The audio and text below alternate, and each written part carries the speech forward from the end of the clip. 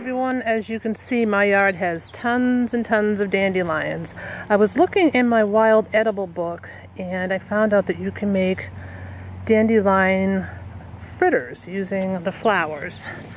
So I'm going to start collecting the flowers. They said not to eat the stem. I want just the flower part. So I'm going to keep collecting these and I will show you the next step. Wow, these are big ones over here. That's as many as I'm going to collect because we're not sure if we're even going to like them. So like I said, leave the stem behind because it is bitter. And I just gave them a few shakes to make sure there weren't any insects on them. I did find some ants.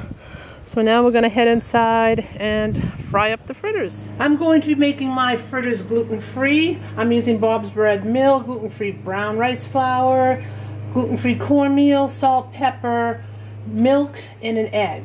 So we're going to mix that together, and I'll show you what it looks My like. My batter's all mixed. As you can see, it's not super thick or super runny. This is a nice consistency. In the meantime, I have a pan where I'm heating up some canola oil to fry the fritters in. I only have about an inch of oil in the pan. I have a thermometer just to make sure I have it at the right temperature, which is around 350.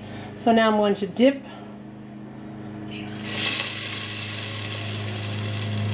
the dandelions right into the batter, into the oil. And they say they only take a few seconds.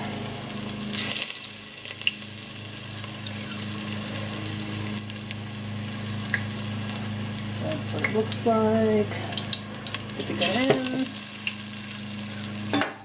like the first two are already done. Flip them over for a second. Okay. The first three are done. I'm going to drain them on a paper towel. I'll show you what they look like when I'm all done.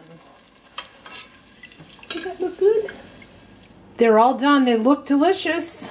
I just gotta let them cool for a moment before I try one and I'll let you know what I think. I'm really curious about this one. You good? Was the appetizer? What do you think, pal? You like it? They're great. You like them, hun? Yeah, delicious. Awesome. What, pal? Hmm? Pretty good, you said? Great. I love them. Maybe we can make a salad out of the one now. Alrighty, so here we go. Delicious dandelion fritters. Mmm. That's awesome. Thanks for watching, everybody.